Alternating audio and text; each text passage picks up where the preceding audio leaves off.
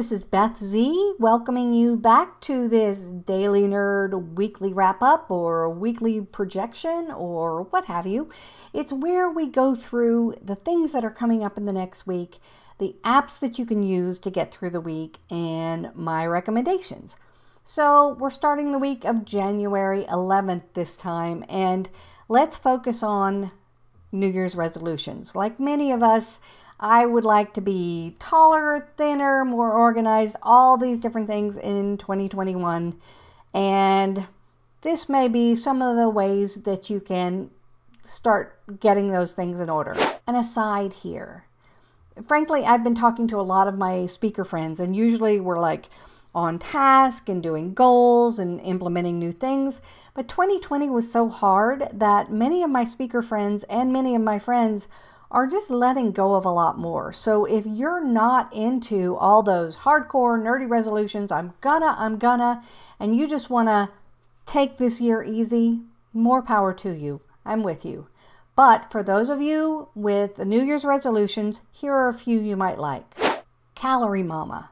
If your resolution is to finally get on track with losing weight, this app is really cool. You take pictures of your food and it uses artificial intelligence to recognize what's on your plate and tell you how many calories you're using. Yay! Thank you very much.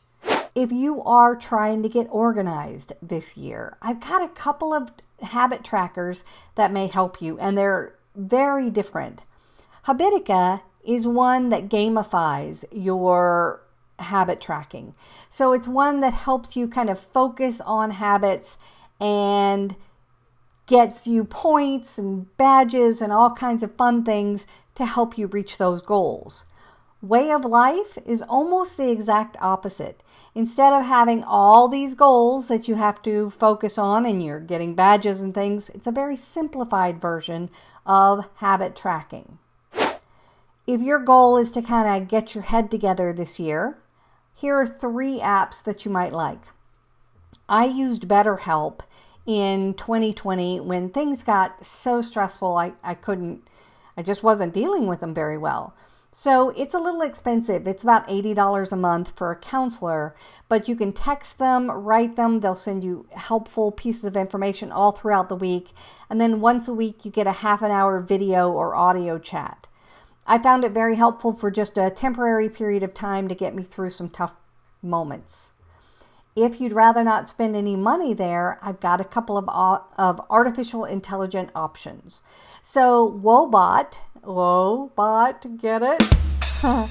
Woebot has been around for quite some time and it was done by Stanford psychologists and a lot of people or Stanford professors. Anyway, a lot of people have a lot of faith in it. I thought it was a joke at first, but it's using a chat box chat bot to ask you questions and to help you get on track with cognitive behavioral therapy, which is a very specific type of counseling that'll help you get through a tough spot. Now, this year, or in 2020 actually, this tool won an award. It's called Intellect, and Intellect won an award for kind of the same concept of using artificial intelligence to give you feedback and cognitive behavioral therapy to get you out of a rut that you might be on. If another one of your goals is to get organized, you might try Toggl. A lot of people love Toggl. It's where you can very quickly toggle on and off when you're working on a project to keep track of what you're doing. Now, I have to tell you that uh, I never remember to turn things off or on when I start a project, and I'm so scattered that it's hard for me to, to remember when I started something and, and to really change directions. So I tend to use things like rescue time instead. Rescue time, instead of having you conscientiously say, I'm starting this, I'm stopping this, Rescue Time monitors everything you're doing on your computer to give you an overall analysis of how much time you're spending on different things. It's both scary and helpful. If your resolution is to get fit this year, MyFitnessPal has MyFitnessPal Eater, MyFitnessPal Runner, MyFitnessPal Walker, all these different uh, specific tools. It's owned now by Under Armour. They bought it a few years ago and they put them all under one house. So there's dieting, there's working harder, there's anyway, all that you want to do with health, you can do with MyFitnessPal.